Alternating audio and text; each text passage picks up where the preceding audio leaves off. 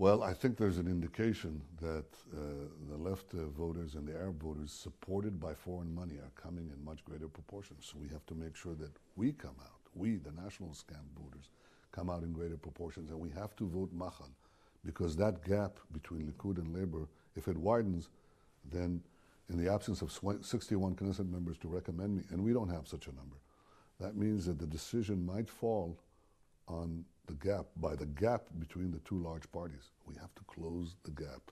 We have to vote Machal. And if I'm elected, I'll form a nationalist government. I'll form a national camp government.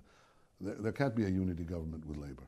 Now, I hear this, uh, uh, this claim, it's just meant to reduce the number of votes for the Likud, and that further widens the gap. No one, I, I think today in the national camp, has the privilege of voting for, uh, not voting for the Likud because uh, if we form the government, all the other parties will be there. Uh, Beit Yehudi, the Jewish National Home, they'll be in our coalition. If they get one or two mandates up or down, doesn't make a difference. They'll be a senior partner in my government, in my next government. But if the Likud loses one or two mandates, then this could decide the fate of who will be the next prime minister of Israel.